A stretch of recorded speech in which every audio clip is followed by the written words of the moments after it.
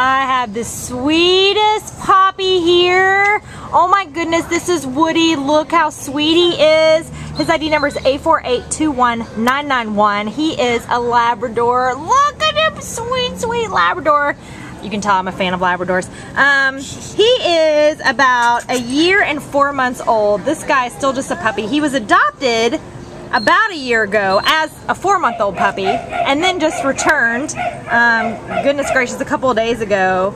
And it, we're not sure that he's had a lot of socialization or a lot of good um, stuff that went on in that year that he was out of here. Um, so we would love to see him with somebody who wants to, you know, give him his love, give him all his basic puppy training skills, just, you know, make him feel secure. Um, as a Labrador, you know, he's gonna get out of here and just be the typical goofy, sweet, loving, loyal guy um, with a lot of fun energy.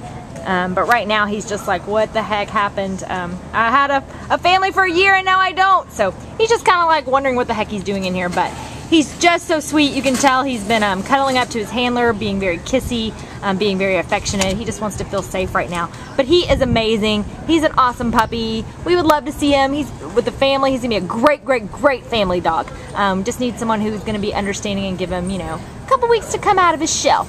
Um, so if you're interested in the fabulous Woodie, I have a big crush on him, so hopefully you do too. And you can come down to the Baldwin Park shelter and make sweet Woodie look at that face. You can't resist it.